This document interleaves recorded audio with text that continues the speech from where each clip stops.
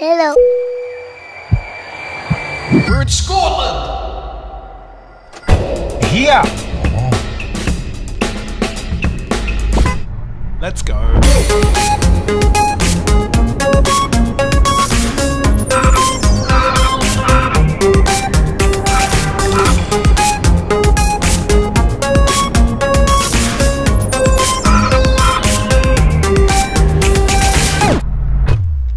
According to the internet, the Royal Bridge in Ballater opened in 1885. Oh boy, you've been reading again. Reading's good for your head. Keep going, what else? FYI, Oh, less than 1,500 people live in Ballater. That's charming. Right? yes.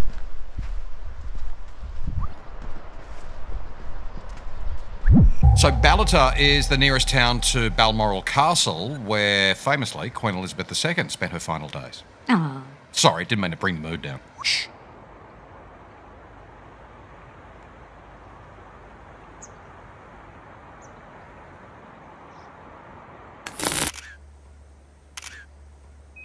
That one's for sale. I want it. I love it. I want it.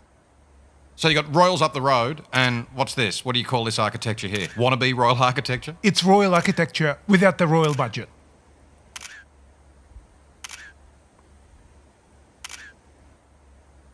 They love those little bay windows upstairs here. They're very cute, aren't they? Everyone's got a fireplace as well. Well, it's usually raining and freezing, so yeah, it makes sense. Mm-hmm. So who lives here then? Some Duke and Duchess of Poshville. Doesn't sound made up at all. Well done. This is the main street in Ballater.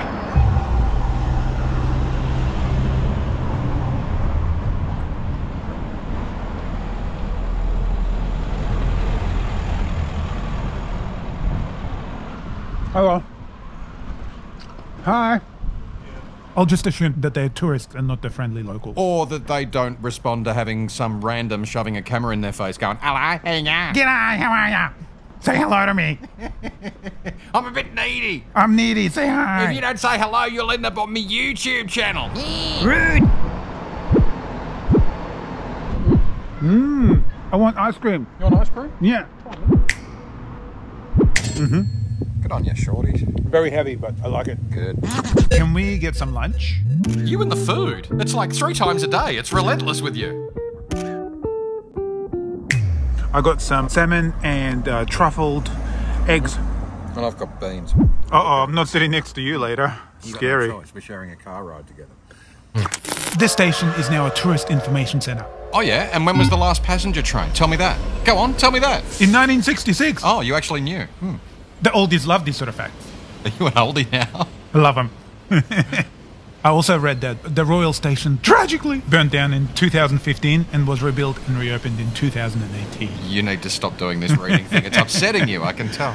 So, what's your verdict? If someone was planning a trip to Scotland, would you recommend this place? Yeah, chuck it on your itinerary for sure. Chuck it on. Chuck it on, mate. It's the Australian way. A dingo's got my baby. My bye bye. A dingo's got my haggis. Oh no! Back in the car. It definitely feels like a million miles away from somebody giving you a Glasgow kiss. Now, remind me again, what's a Glasgow kiss? A Glasgow kiss is when somebody headbutts you and breaks your nose. Oh, lovely. Lovely. We learned that from a Glasgow local. But not because we got headbutted by that person. Just for the record.